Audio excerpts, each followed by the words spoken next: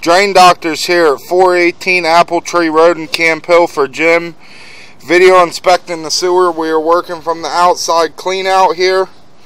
Uh, this is the main line tie-in. Uh, this line was a little bit hard to get open here. Going to pull back and show you the line.